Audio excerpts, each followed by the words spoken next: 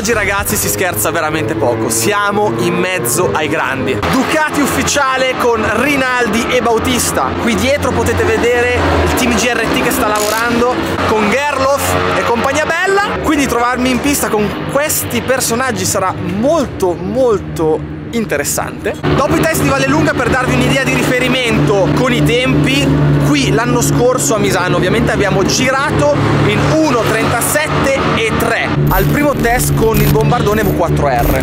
I nostri competitor hanno già girato nei giorni scorsi, a causa pista sporca e altre cavolatine non sono andati fortissimo, 1.37 alto, 38, niente di incredibile. Quindi vedremo se anche oggi la V4S di serie ci stupirà.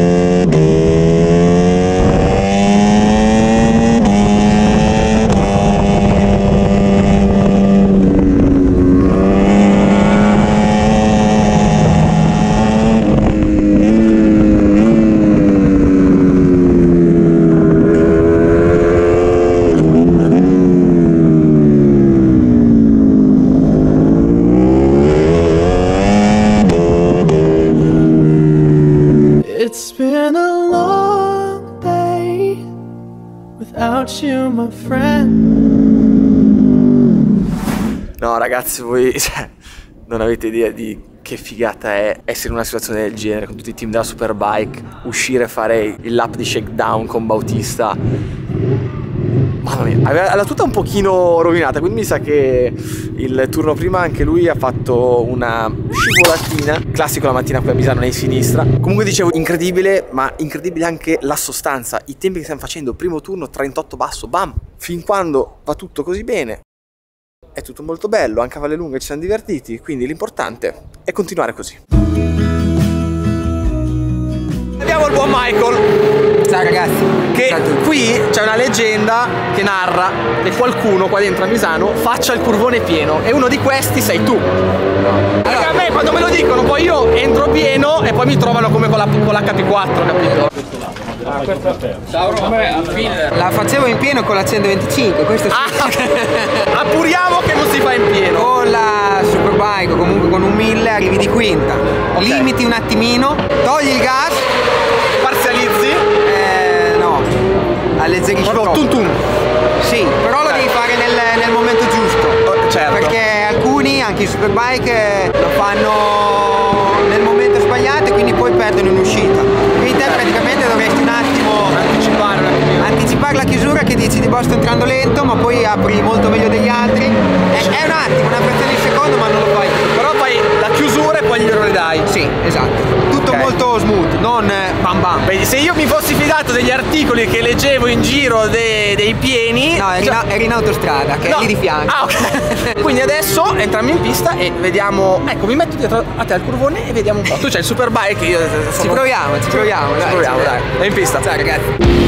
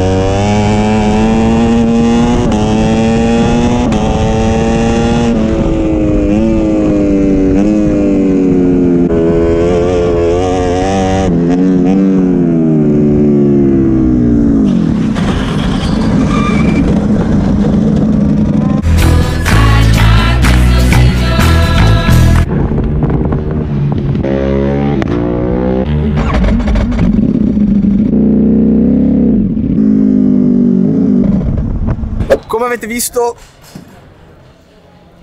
fatturatina ina ina ina. Però ragazzi, che giri dietro Nozane, Kota Nozane, pilota del team GRT Yamaha. Cioè, ero lì e dicevo, ma sto dietro a una superbike con una moto di serie.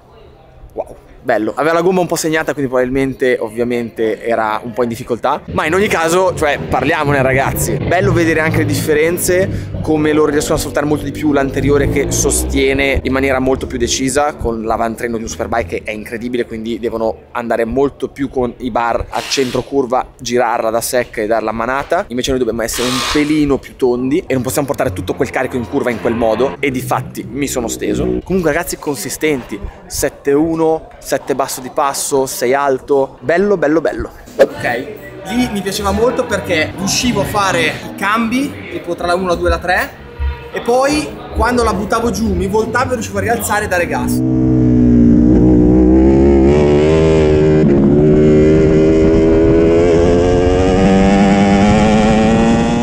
Invece sono tornato adesso un po' al punto dove quando la rigiro sono sempre un po' con l'anteriore, però anche qui quando vado nella 2, prima era più facile portare la porta, far stretto e tagliare.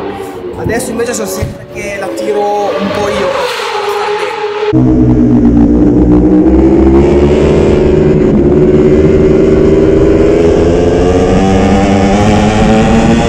Qua quando vado ad appoggiare gas subito mi porta largo e mi faceva quel discorso lì dell'altro giorno dove mi trovo sempre sul cordolo eh, invece che, fa, che, fare la strada e tagliare facevo oh e poi andavo in giù. Alle Rio avevo feeling prima in ingresso invece adesso ho sempre un po' questo discorso che un po' mi spingeva adesso molli i freni vado sempre troppo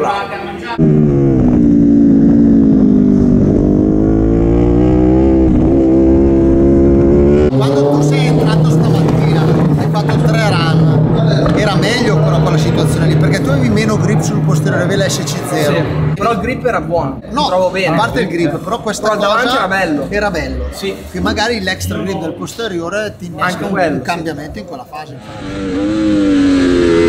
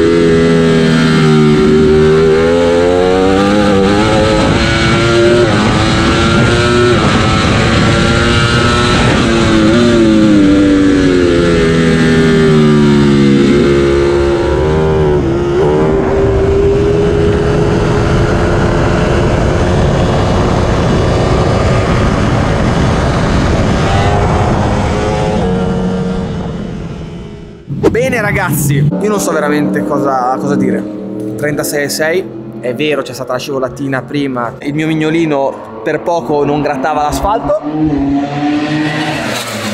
È ancora al sicuro per fortuna e penna chiaramente per festeggiare questo bel risultato perché vi ricordo primo test l'anno scorso stesse più o meno condizioni 37,3 quindi un bel passo avanti ma adesso vi faccio vedere una roba molto carina com'è possibile che io sia riuscito a staccare tutto e impennare. È una cosa che potete fare anche voi con la vostra V4. Noi, non avendo appunto i blocchetti racing, ci siamo inventati questa cosa qui. Abbiamo fatto tutte le mappe LS23A, LS23 e penna per fare lo scannellamento in monoruota. Quindi tutto bellissimo qui da Misano, guardate che tramonto.